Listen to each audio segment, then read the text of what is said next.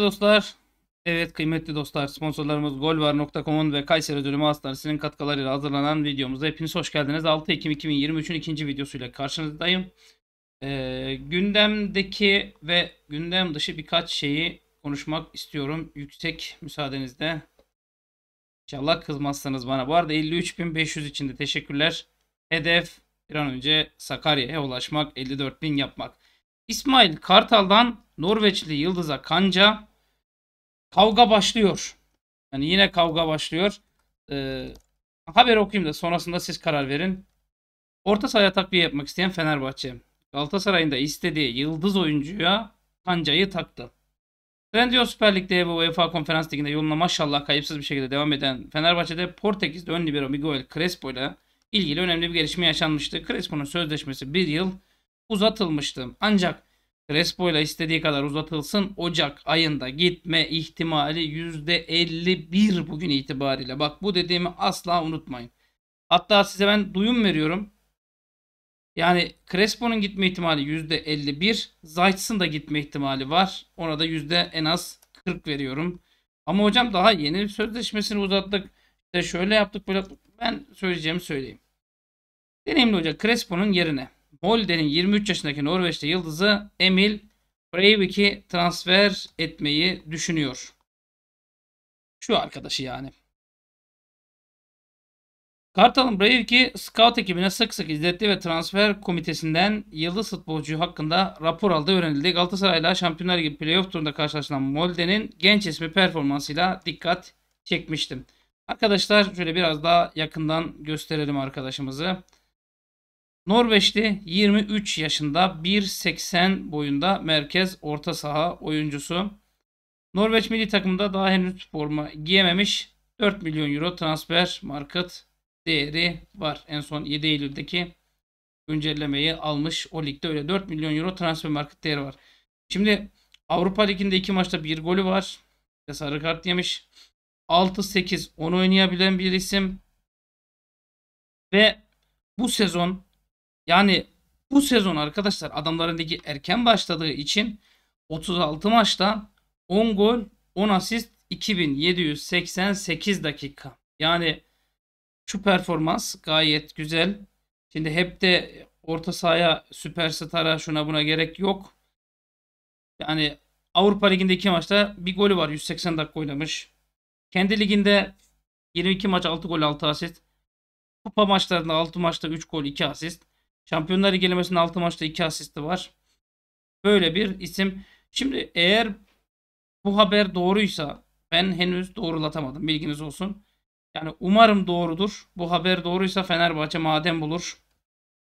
Yani Galatasaray istediği kadar ağlasın zırlasın mühim değil. 2025'te kontratı sona erecek. Molde altyapısından yetişiyor. 2000 doğumlu oyuncu. Raufus da kiralık olarak forma giymiş. Molde'de geçen sezon 35 maç, 13 gol, 10 asist. Bu sezonki de hali şu an devam eden halini görüyorsunuz. 10 gol 10 asiste ulaştı bile. İstikrarlı bir isim. Açık söyleyeyim. Yani izlememe bile gerek yok. Şu istikrarı sağlayan e, Norveçli bir oyuncu düşünülebilir. Zamanında Erling Haaland için de benzerini söyledim. Çocuğun istatistiklerini görür görmez 20-30 ne varsa basın parayı bak bu çocukta iş var. Geçtim. Mbappe zaten 18'inde belli etti kendini. Ama Böyle bir arkadaşı ben düşünmemiz gerektiğini söylüyorum arkadaşlar. Şimdi UEFA ülke puan sıralamasında yeni kural 3 takımla devler ligi şansı. Yani Fenerbahçe'ye Şampiyonlar Ligi müjdesi de diyebilirim. Abi başlık gerçekten bu videoya ne başlık atacağımı bilmiyorum. Çünkü Fenerbahçe'ye Şampiyonlar Ligi müjdesi direkt gruptan bu başlığı koysam bu da olur. Şimdi UEFA ülke puanında bu sezonki sonuçlar baz alınarak yapılan sıralamada Türkiye ilk sırada yer alıyor şimdilik. İlk iki sıradaki yerini koruması halinde gelecek sezon Şampiyonlar Ligi'nde 3 Türk takımı yer alabilir. Nasıl alacak? Şimdi Türkiye UEFA ülke puan sıralamasında sezonu ilk ikide tamamlarsa iyi de hocam biz şu anda 9. 8'e gitme. Hayır bu sezonki puanlar baz alınarak. Ama ben şunu söyleyeyim bak yanlış yapıyorsunuz. Daha bu lig çok uzar. Yani İngilizlerin atıyorum 8 takım var. Atıyorum İspanyolların 8 takım var. Atıyorum Almanların 8 takım var. Yani tur başına ne kadar? 2000 puan. Şey pardon gruptaki puan başına 2000 puan. 8'e böl. Adamlar 250-250 paylaşıyor. Yani 8 takımda galip gelse 2000 alıyor. Senin 3 takımın galip gelse Avrupa'daki 1500 alıyorsun. Ya bu kolay bir şey değil. Ama şunu söyleyeyim 24 yeni kontenjandan ikisi verilecek. Şampiyonlar Ligi'nde takım sayısı 32'den 36'ya çıkarılacak. 4 yeni kontenjandan ikisi bir önceki sezon takımları toplamda en çok puan toplayan iki ülkeye verilecek diyor. Türkiye ilk sırada. Yani şu anda ilk sırada yer alıyor. Sıralama şöyle Türkiye ya bu maçlar hariç yani Galatasaray ve Fenerbahçe kazandı. Türkiye e, 8750 puana çıktı. Belçika takımları herkese arkadan takip ediyor. Yani uzun lafın kısası arkadaşlar. Türkiye baya baya önde gidiyor. Yani bakalım nereye kadar gidecek. Galatasaray muhtemelen Şampiyonlar Ligi'nde Manchester'ı yenecektir. Onun dışında Bayern Münih maçları falan var. E Beşiktaş kan değişikliğine gitti biliyorsunuz. Şenol Güneş istifa etmiş. E, kovulmamış. Böyleyken de bakalım neler olacak. İtalyanlar yazdı Fenerbahçe'den korkuyorlar. Aa Türk hakemlerle ilgili haber yapmışlar arkadaşlar. Durun bakalım okuyalım. İtalyan basını Fenerbahçe'nin performansından övgüyle bahsetti ve konferans liginde Fenerbahçe'den korkuyorlar demiş. Ne konferans? Süper Lig'de de korkuyorlar. Fenerbahçe'nin 15'te 15 yapması Avrupa'da dikkat çekti. Ben bu haberi notlarıma eklediğimde 14'te 14'tü. Portekiz'den sonra İtalya basını da Fenerbahçe'den övgüyle bahsetti. Çizme basını konferans liginin favorilerinden biri olduğunu söyledi. Elbette ilginçlikler var. Elbette Fiorentina finale çıkmaya aday ancak Emery'nin Aston Villa'sı ile Türkiye gibi Fenerbahçe en büyük favorilerden. Türkler oynadığı tüm maçları kazandı. Kadrosu yıldızlarla dolu ve konferans ligindeki takımlar Fenerbahçe'den korkuyor demiş. Ben mesela şeyi merak ettim. Aston Villa maçları sanırım zar zor yendiler ya. Evet. Zrinci Monster'ı 1-0 yenmişler. Var bunda hocam biz de 1-0 yenebiliriz. 27 maçta 9 şey 27 şut, 9 isabet, %75 toplu oynama. Bu arada bu Zaniolo çöpü de oynamış. Zaniolo çöpüne bayağı eleştiri gelmiş sanırım. Aston Villa e, konferans liginde iki maçta sanırım bir galibiyeti var diye biliyorum. Şimdi grubunu da bulmam lazım. 2 saat onu araştıracağım. Hani e, çok çok övülecek bir şey. Şu anda 6 yani 2'de 2 yapan Fenerbahçe. PAOK bu turnuvada yani 6 puan olan. Aston Villa Zrinski, Monster, AZ Alkmaar, Lejia Varşovalı grupta 4. sırada arkadaşlar. İlk maçını kaybettiği için 3 gol atıp 3 gol yemiş. Lejia Varşova'ya yenilmiş. 2'de 2 yapan başka takım Lugano 4, Victoria Pilsen 6 yapmış. 6 da 6 yani 2'de 2 maç kazanmış. Slovan Bratislava da 6 yapmış. Lille mesela o grupta 4 puanda. Yani imkansız da bir şey yok ama Süper Lig'de de bizden korkuyorlar. Konferans Ligi demişken konferans liginde Türk hakemden ilginç karar. Yine utandık Türk hakemleri adına. Galatasaray Federasyonu'nun Türk hakemleri yine utandırdı bizi. Konferans liginde Balkan ile Dinamo Zagreb arasında oynanan mücadele Türk yardımcı hakem Ceyhun Sesi Güzel'in kaldırdığı offside bayrağı gündem oldu. Şimdi ben bunu Twitter'da da paylaştım. Bilmeyenler için söyleyeyim. Tahmin edin Ceyhun Sesi Güzel hafta sonu kimin maçında yardımcı hakem? Fenerbahçe'nin. Evet. Ya Cevdet Kömürcü ve Ceyhun Sesi Güzel yardımcı hakemler Varda Hakan Ceylan görev almış. Allah belasını veresici Hakan Ceylan. Avar olarak da Koray Gençeller görev yapmış. Şimdi ilginç offside kararı. 44. dakikada ya ekrana versem mi ki? Bence ekrana vereyim de siz de görün. Yani bu pozisyonu offside kaldırıyorsa bir adam zaten adam adam değildir dersiniz. Hocam hakem hakem değildir dersiniz. Adamlık demeyelim de hakem hakem değildir dersiniz. Şuna offside kaldırmış arkadaşlar. En arkada yani en sağa doğru bakın. Kırmızılı oyuncu, e, turunculu oyuncuya offside kaldırmış arkadaşlar. Yani böyle bir hakem. Bunun neresi hakemse böyle bir hakem arkadaşlar. Ve VAR'dan gelen uyarıyla gol geçerli sayılmış. Fenerbahçe maçı olsaydı var derdi ki kararın doğru devam et derdi. Biz de ana, avrat, bacı, kardeş, akraba, elti görünce çıldırırdık. Ben beddua ederdim. Siz dediniz ki hocam beddua etme sana geri döner. Sonra derdim ki arkadaşlar ne yapmamız lazım? Siz saçmalardınız. Ben dinlerdim. Supi, supi gibi olurdu. Utanç kaynağısınız Türk hakemleri. Fenerbahçe'yi yerin dibine sokalım diye Türk futbolunun utancı oldunuz. Haberiniz olsun. Ha Allah çıkartır. Daha da çıkartır. Buradan da ekmeğiniz kesilir. Rabbim size haram lokma yedirtmesin. Siz bu işten ekmek ekmek kazanamayın inşallah. Fenerbahçe'de başarının sırrı 6. 6-0. Yani şiddetli pres, pas kanalları çabuk kapatıyor ve savunmada rahatlatırken hücum etkinliği sürekli arttırdı. İsmail Kartal yönetiminde Fenerbahçe iki kulvarda birden iyi gitmesinin perde arkasındaki isim sebeplerden biri bu.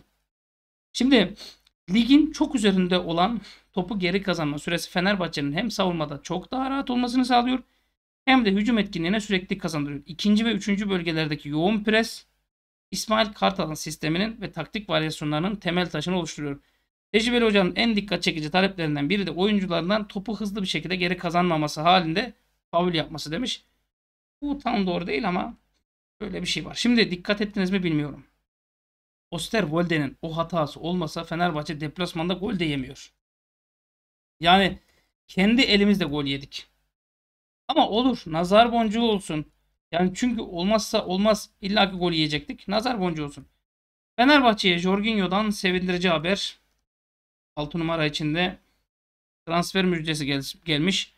Jorginho ile o takımın ilgilenmediği ortaya çıkmış arkadaşlar. Brezilya, İtalyan yıldızı Brezilya ekibi Sao Paulo'nun ilgilendiği iddia ediliyordu. Jorginho'nun Sao Paulo'nun ilgilenmediğini duyurmuş Brezilya basını. Fenerbahçe ilgileniyor demiş. Skor yapmadı. Bu sezon 7 maça çıktı. Skor yapmadı. Londra temsilcisi 2024'te sona erecek demiş. Şimdi Jorginho iyi bir isim. Kaliteli bir isim. Ancak bazen de taş yerinde ağır oluyor. Şimdi biz Manchester'ın en iyi oyuncusunu çektik. Fred'i. Bugün tercih hakkım olsa yine Fred'i çekerdim oradan. Başkaları çöp. Ya 7 maç dediğine bakmayın 176 dakika. Korku mu Fenerbahçe'nin devasa bir para vermesinden gerek yok. Bak şu Emil Raivik var ya ben size söyleyeyim ben olsam bunu alırım. Açık söyleyeyim. Hani Galatasaray'ın elinden almak için mi hocam? Hayır. Gerçek olduğu için. Galatasaray demişken bak şimdi yine bir başlık mesela bak. Son dakika Fenerbahçeli Yıldız futbolcudan şok.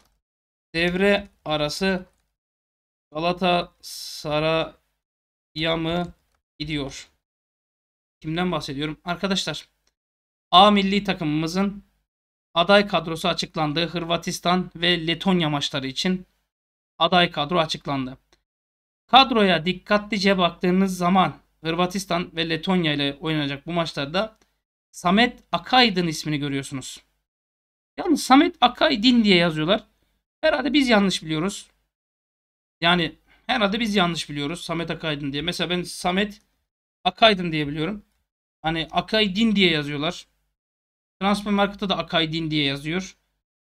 Muhtemelen kimlikte din diye yazılıyordur. Tahminim öyle çünkü Trabzon'da hani genelde ığlara iyi falan diyorlar ya. Herhalde yazan nüfus memuru Haçen da bunun soyadını Akaydin yazayım da demiştir.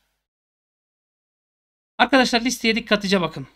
Altay Bayındır birinci sırada kaleci olarak yazılmış. Uğurcan Çakır dördüncü sıra. Doğan Alemdar ve Ertaç Özbir. Görün bakın dedim size. Bir Altay Fener'den gittiği zaman Fenerbahçe'den gittiği zaman milli takımda oynayacak dedim. Son hazırlık maçında oynadı. Şimdi de oynayacak. Muhtemelen. 2. Defansta Ferdi Kadıoğlu, Zeki Çelik, Abdülkerim Bardakçı. İyi de Abdülkerim Bardakçı'nın eltisinin, görümcesinin, kaynanasının biraderi e, doğum yapacaktı. Bir de Abdülkerim'in evindeki kedinin patilerinde bir tüy kalmış. O yüzden Abdülkerim gidemez ki. Yani Abdülkerim'in görümcesinin, eltisinin, kaynanasının, eltisinin bir şeyi oldu diye hatırlıyorum ama Abdülkerim gidemez. Burada bir yanlışınız var. Cenk Özkaçar Kaan Ayhan, Merih Demiral. Yani Cenk'in Cenk'i stoper oynatacaksak sıkıntı yok. Kaan Ayhan, oh! Abdülkerim, Kaan. Merih Demiral, Ozan Kabak, Samet Akaydın, Eren Elmalı, Rıdvan Yılmaz. Şimdi burada ben bir şey söyleyeyim. Kaan Ayhan da Samet Akaydın da takımlarının yedek oyuncuları. ihtiyaç verilmesi halinde oynatılan oyuncuları. Açıkçası Samet'in gitmesine sevindim. Gerçekten sevindim. Şimdi Serdar Aziz yükselen değer Fenerbahçe'de bir. BKO'nun e, hani bir iki afalladı. Hafif bir sakatlık ve yorgunluk var. Ondan dolayı Samet buraya gidecek. En azından moral bulacak. Çok güzel. Sevindim. Mesela Rıdvan Yılmaz yükselen değer olmaya başladı. Yani sol beke birisi lazım. Demek ki Ferdi sağ bek oynatacağız. Zeki Çelik'in önünde. Orta sahalar. Berkan Kütlü, İmre Akbaba, Hakan Çalhanoğlu, İsmail Yüksek, Orkun Kökçü, Salih Özcan. Ya şu orta sahada İsmail bir büyük ihtimalle İsmail, Berkan, Hakan Çalhanoğlu oynar. Ben Orkun Kökçü'yü milli takımda tanıyamıyorum. Hakan Çalhanoğlu'nu da milli takımda tanıyamıyorum. Yani ama Berkan İtalya'da oynadığı için İtalyan teknik direktör Montella'nın dikkatini çekmiştir. Emre Akbaba'yı da zaten biliyor. Bir yerde de iyi yapmış. Forvetler yani kanat forvetler. Barış Alper Yılmaz, Yunus Akgün, Yusuf Sarı, Bertu Yıldırım, Cenk Tosun, Kenan Yıldız. Kenan Yıldız'ın alınması da sevindirdi Juventus'un genç yeteneği. İrfan Can Kahveci, Kerem Aktürkoğlu. Hani bugün oynatacak olsan sağda İrfan'ı solda Kerem'i oynatırsın. Forvet'te açık söyleyeyim Cenk'i de Kenan'ı da oynatmaz. Bertu'yu oynatırsın. Bak Bertu Yıldırım'ın üstüne düşürmesi lazım. Yani Bertu'nun ben üstüne çok düşürmesi gerektiğini düşünüyorum. Şimdi arkadaşlar Samet Akaydın'ın milli takıma alınması. Ulan acaba Galatasaray'a mı gidecek? Soru işaretini uyandırdı bende. Çünkü hani bayram değil, seyran değil, kaynanan beni niye öptü diye. Hocam adam Adana Demirspor'da Samet'le birlikte çalıştı.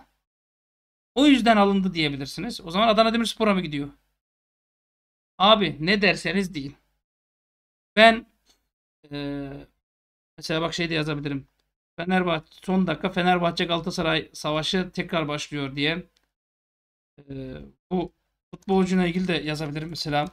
E, diyorum ya arkadaşlar ben buna ne başlık koyacağım? Ya ben buna ne başlık koyacağım bilmiyorum. Ama Samet'in seçilmesine gerçekten sevindim. Başka kim vardı? Mesela İrfan Can Eğribayat seçilebilirdi. Bence yükselen değerdi. Hatta Uğurcan Çakır'dan daha formdaydı. Savunmaya şöyle düşünüyorum. Serdar Aziz. Hani Samet Akaydın yerine ben olsam Serdar Aziz'i seçerdim ama Samet'i tanıdığı için normal. Mert Müldür sağ bek. Hani Zeki Çelik asist masist de yapmaya başladı Roma'da. O dururken Mert'i seçmezdi zaten. Ferdi sol bek Zeki Mert Müldür'ü sağ bek olarak seçebilir miydi? Seçebilirdi. Ama bu sefer de bir takıma yoğunlaşmış olur derlerdi. Orta sahalardan hani bir Mert Hakan çağırmasını zaten beklemiyorum açıkçası. Zaten bizde de hani Bartu Elmaz'ı da zaten genç milli takıma çağırdılar. Kanat forvetlerde Cengiz sakat. Emre Mor sakat. İrfan normal. Yani şu değerdeki bir futbolcu da alması normal. E, forvet olarak Umut Nair'i seçebilir miydi? Bence seçebilirdi. Cenk Tosun yerine ben olsam Umut Nair'i seçerdim. Çünkü Bertu, Umut Nair, Kenan Yıldız benzer e, forvetler. Ama her şey için hayırlısı olsun. Milli takımımıza 12 Ekim 15 Ekim'deki maçlarında başarılar. Bu arada bir şeyi de hatırlatayım. Galatasaray futbolcularının izin almasını da bekliyorum. Sebebini de söyleyeyim arkadaşlar. Şimdi e, son maç 15 Ekim. Ama yani ama ama arkadaşlar son maç 15 Ekim ama yanlışım yoksa 22 Ekim'de Beşiktaş Galatasaray ya da Galatasaray Beşiktaş maçı var. Yanlış biliyor olabilirim ama zannetmiyorum yanlış bileceğim ya da 21 Ekim'dedir. Muhtemelen 21 Ekim'dedir çünkü Galatasaray Şampiyonlar Ligi maçı var diye. Cumartesi günüdür. Ee, bundan dolayı Galatasaray futbolcuları muhtemelen 15 Ekim'i de aslında ayrılması lazımdı ama neyse. Hayırlısı bakalım arkadaşlar. İzlediğiniz için teşekkürlerimi sunuyorum. Bir sonraki videoda görüşmek üzere. Kendinize iyi bakın. Buraya da 53.500 yaptığınız için teşekkürler. Belki bir sonraki videoya 53.700 olur. Kim bilir. Görüşmek üzere.